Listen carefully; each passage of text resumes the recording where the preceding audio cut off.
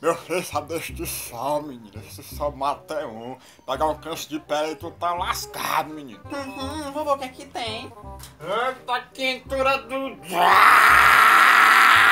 menino. E papai, não tem aquelas rapaduras no comércio não, ó. Hã? Qual, meu filho? Aquela que dá diabetes. Qual é a que não dá? Olha a mamotagem teu feio aí, no pleno sol quente de meio-dia. Vai caçando no meio de morrer, hein, infeliz? Olha esse sol aí, sai! Uhum, essa faltou eu chegar, tô saindo.